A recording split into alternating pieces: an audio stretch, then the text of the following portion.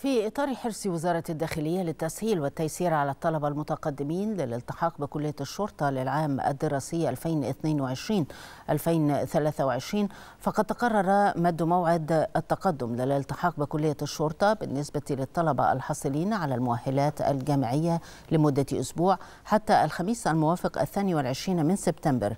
كما تقرر السماح للمتقدمين للالتحاق بكلية الشرطة من الحاصلين على هذه المؤهلات بتقديم شهادة مؤقتة أو إفادة بالحصول على المؤهل الجامعي وذلك لحين استخراج أصل شهادة التخرج.